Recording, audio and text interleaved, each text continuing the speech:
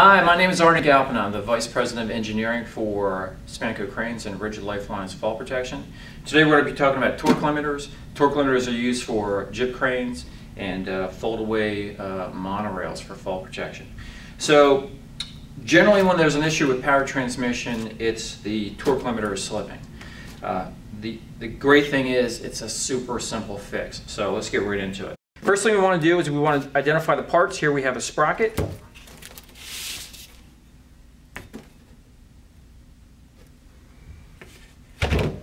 Here we have a torque limiter. And we want to make sure that we open up the box and identify all the components because there might be something hiding underneath. In this particular case, it's a bushing for the sprocket. So this particular unit uses two springs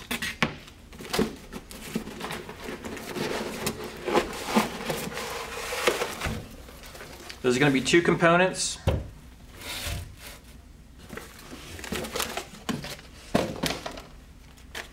There's going to be the torque limiter and the instructions. I would strongly recommend you read the instructions from front to back. There's a lot of good information here and uh, we're going to cover some very, uh, very brief points today uh, regarding the torque limiter. So very briefly how this works.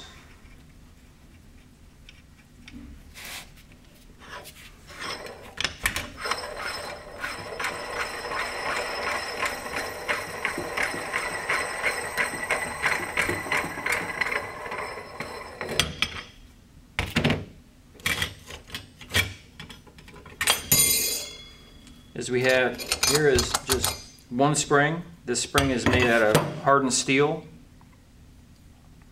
And it'll compress, but it will always spring back. In this particular case, we're going to use two springs.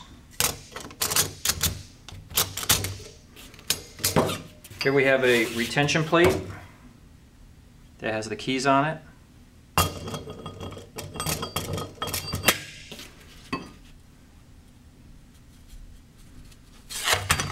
We have a friction disc. And just to show you how this works without going full assembly, the sprocket goes in here, and the friction discs go on here, and this whole unit can turn without the sprocket turning. Okay, so the first thing we're going to do is we're going to clean things thoroughly. Now, you can use two uh, solvents if you want. Uh, this is 91% isopropyl alcohol. I like this stuff, it's easy to work with. Uh, it doesn't smell that bad. You can also use brake clean, your choice. To do it uh, perfectly, because we do have friction discs, there's our coarse substance. Um, I prefer just to pour a little bit of rubbing alcohol in a bucket, five gallon bucket, real simple. So we're gonna let these soak just in case somebody got their fingers on that or um, you have to keep in mind there's a lot of oil and grease on the chains and especially these. These are machine surfaces and this entire unit will come with a little bit of oil on it. So we want to make sure that just in case there's some contamination of the friction discs, we're just going to let these soak in here for a little bit. Then what we want to do is we want to take two clean towels.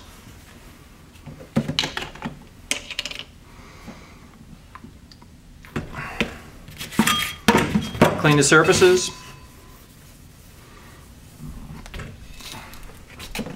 On both sides.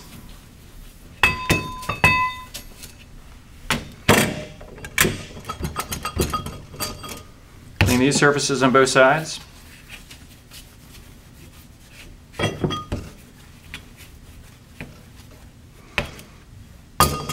Now, when we reassemble these, it's very important that your fingers are free of grease. So we can use gloves or we can just handle things with our fingertips right from the side. So these are very clean. I'm just going to use my fingertips from the side.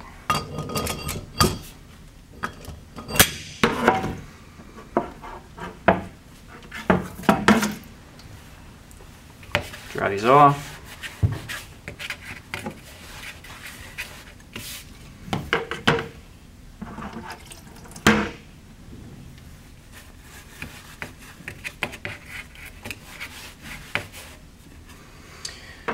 Okay, so while these are drying, I just want to point out some things with this sprocket.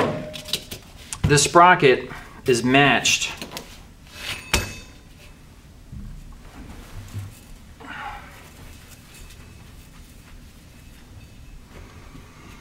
the sprocket is matched to the torque limiter.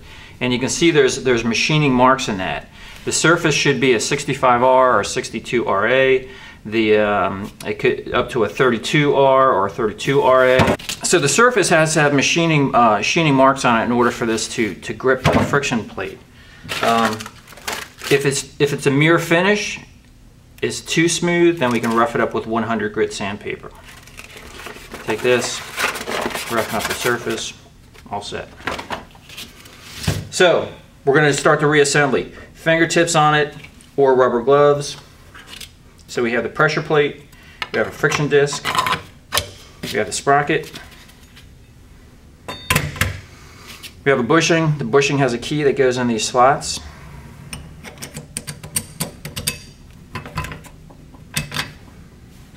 Another friction disc. Another pressure plate.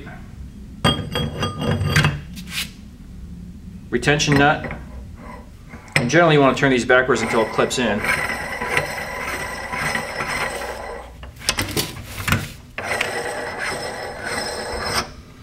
So this is super simple, very, very simple. All we have to do is just hand tight it. Hand tension it, and right now we're gonna notice that these are very specific length bolts with a machined surface on the top with a very defined thickness. So this is longer than that. It's going to push those springs down and clamp this whole thing together.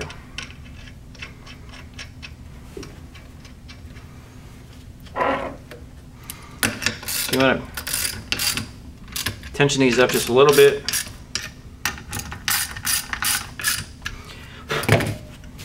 So that is not good. That bottom of that head has to be touching the surface.